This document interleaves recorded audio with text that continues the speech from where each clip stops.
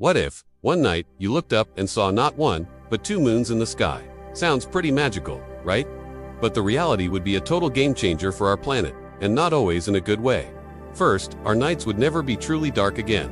The sky would be perpetually illuminated, which sounds beautiful, but that's just the beginning. The real drama would happen in our oceans. With two moons pulling on them, the tides would become supersized. We're talking massive, violent rises and falls. Coastal cities could face constant flooding, and huge waves would become the new normal, all thanks to that double gravitational tug. But it gets even wilder. The combined gravity could mess with Earth's tilt, throwing our seasons into chaos. Imagine blistering summers, followed by Arctic winters, completely unpredictably. Animals that rely on the lunar cycle, like sea turtles navigating to shore, would be hopelessly lost. So, while a two-moon sky might look like a sci-fi dream, it could turn our world upside down. If you love exploring these mind-blowing what-if scenarios, hit that subscribe button for more. Thanks for watching.